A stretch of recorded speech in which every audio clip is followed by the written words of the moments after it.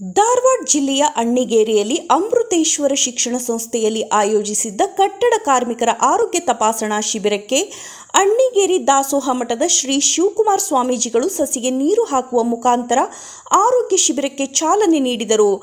ಅಣ್ಣಿಗೇರಿ ಕನ್ನಡ ಸಾಹಿತ್ಯ ಪರಿಷತ್ತು ಹುಬ್ಬಳ್ಳಿ, ಧಾರವಾಡ, ಕೆಎಲ್ಇ ಸುಚಿರಾಯು ಆಸ್ಪತ್ರೆಯ ಇವರ ಸಹಯೋಗದೊಂದಿಗೆ ನೋಂದಾಯಿತ ಕಟ್ಟಡ ಕಾರ್ಮಿಕರು ಮತ್ತು ಅವಲಂಬಿತ ಕಾರ್ಮಿಕರಿಗೆ ಉಚಿತ ಆರೋಗ್ಯ ತಪಾಸಣೆ ಮಾಡಲಾಯಿತು. ಈ ಶಿಬಿರದಲ್ಲಿ ಅಣ್ಣಿಗೇರಿ ಸಾಹಿತ್ಯ ಪರಿಷತ್ತು ಅಧ್ಯಕ್ಷ ರವಿರಾಜ್ ವರ್ಣೇಕರ್ ಪುರಸಭೆ ಅಧ್ಯಕ್ಷರಾದ ಗಂಗಾ ರಮೇಶ್ ಕರ್ಟೆನವರು, ಉಪಾಧ್ಯಕ್ಷರು ಜಯಲಕ್ಷ್ಮಿ ಜಕರೆಡ್ಡಿ, ಸಾಹಿ ಸಮಿತಿ ಚೇರ್ಮನ್ ಬಾಬಾಜಾನ್ ಮುಲ್ಲಾ ಇನ್ನೂ ಹಲವಾರು ಮುಖಂಡರು ಪಾಲ್ಗೊಂಡಿದ್ದರು.